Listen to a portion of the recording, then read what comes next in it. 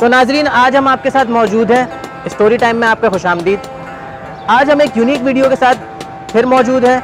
आज हम आपको एक ऐसे नायाब कारीगर से मिलाएँगे जिनका काम अब मार्केट में बिल्कुल ख़त्म हो चुका है। ये काम कन्वर्ट होकर प्रिंट मीडिया की तरफ़ चला गया है। तो आइए मिलते हैं इकबाल स्टेंसिल मेकर तो इकबाल भाई क्या बताना चाहेंगे आप अपने इस काम के बारे में?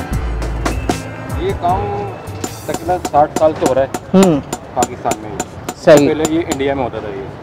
तो हमारे बड़े वहाँ से काम सीख के यहाँ पर आए। यहाँ पे उन्होंने काम स्टार्ट करा फिर यहाँ उन्होंने अपने हाथ औलादों को काम सिखाया ये। तो यहाँ पे तकरीबन पहले बारह से तेरह शॉप थी। तो प्रिंट पे जाने के बाद आपको क्या नुकसान हुए इस काम के?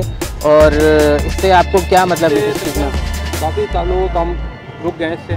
जब देख लें पहले यहाँ पे तेरह दुकानें थी अब चार बची से काम ना होने की वजह अच्छा सिर्फ़ चार दुकानें बची हैं। मतलब पूरे कराची में आप कह रहे हैं कि सिर्फ़ चार बंदे जो ये काम करते हैं।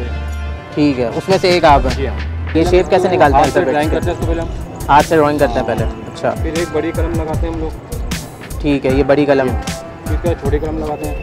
ठीक है। है। इससे हम उसको बाहर निकालते हैं। अच्छा। एक शेप को। हाँ, पूरा। हाँ, पूरा शेप बाहर आता है निकल के। तो नाजरीन बेसिकली ऐसे हुनरमंद और हौसलामंद लोगों की वजह से ही ये दुनिया चल रही है। जो अपने काम के ऊपर और अपनी अल्लाह की ज़ात पर इतना पुख्ता ईमान रखते हैं कि उनको इस चीज़ की परवाह नहीं है कि टेक्नोलॉजी कहाँ से कहाँ जा रही है, वो अपने हुनर के ऊपर और अल्लाह की ज़ात पर कामिल भरोसा रख के अपनी ज़िंदगी का गुजर बसर कर रहे हैं।